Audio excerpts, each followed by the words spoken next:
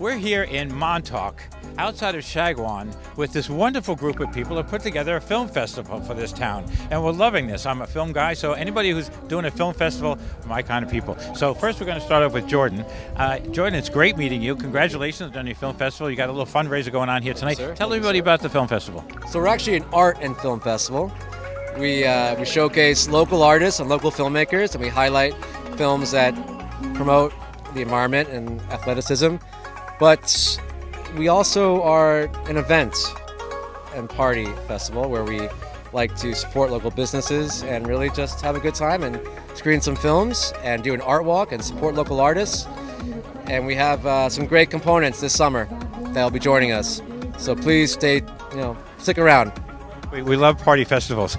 So, so Christine, so how did you guys get involved with it? How, we did, how do you know each other? So we've all worked collectively on a couple of different projects throughout um, New York, and uh, really kind of came together as a collective group of creatives that really all represent the same vibe of trying to be climate focused, support emerging filmmakers and artists, and really tap into the local community here in Montauk.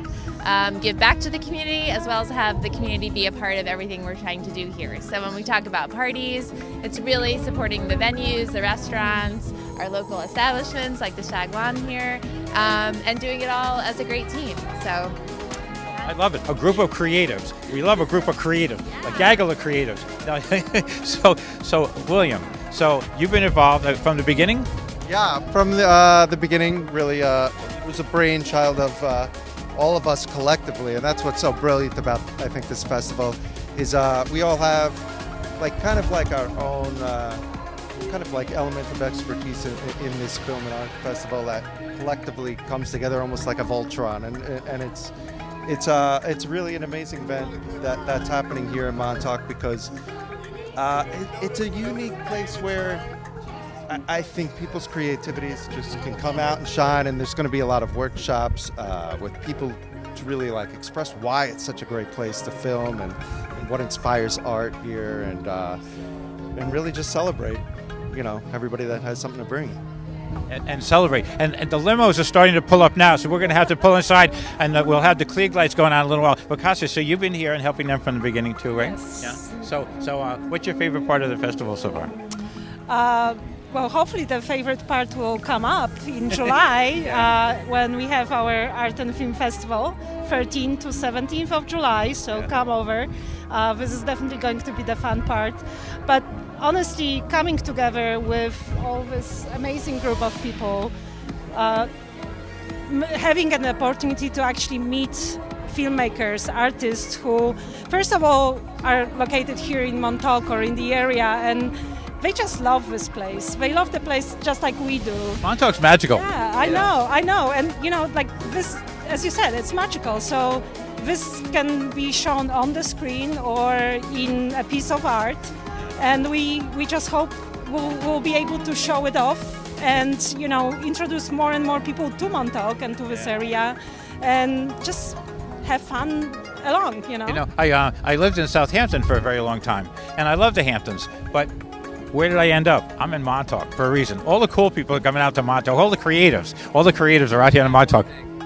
that Montauk has always been a muse for artists and writers for decades. I mean, before people discovered even that Montauk, you know, surfing. Mean, before that, there were writers and artists here that came here to get inspired, and they did their best work.